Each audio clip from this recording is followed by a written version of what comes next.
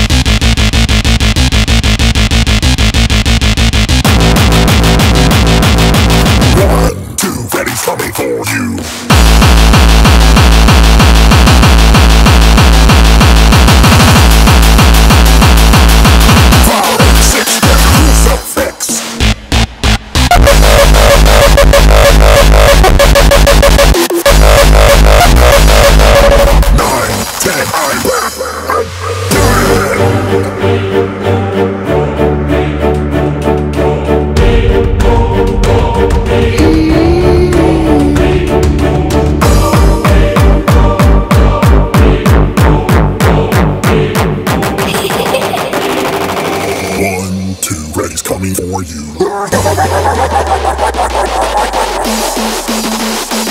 you.